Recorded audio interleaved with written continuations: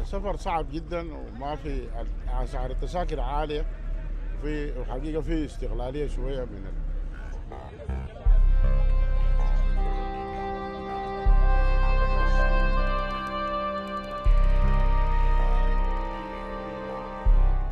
يعني اللي احنا الاثنين بمليار كتيرة يعني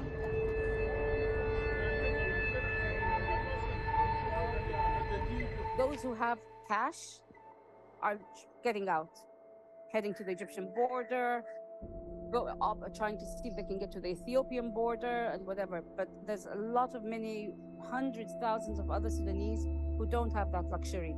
And I don't know what they're going to do. I feel like we, if we didn't die because of live ammunition or a bomb or even RPG uh, bomb or uh, aircraft uh, bomb also, we might die from hunger and, and thirst.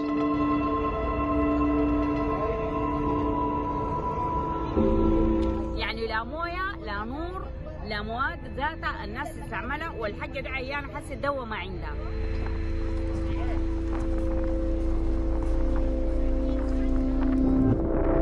من 30 الحاجة اللي أنا شايفها دي ممكن يكون بقالي أكتر من 14 ساعة في الحدود السودانية.